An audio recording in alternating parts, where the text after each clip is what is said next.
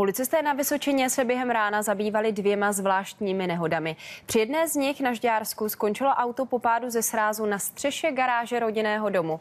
Při druhé na dálnici D1 narazil zájezdový autobus do auta s přívěsem. V prvním případě byl řidič opilý, v tom druhém agresivní.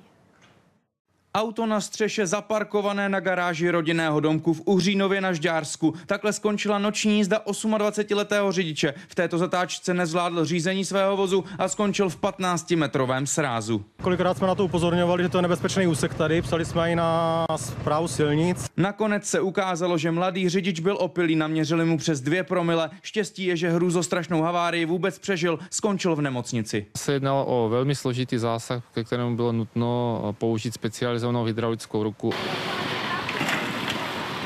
Vyprošťování trvalo více než dvě hodiny, případ vyšetřují policisté.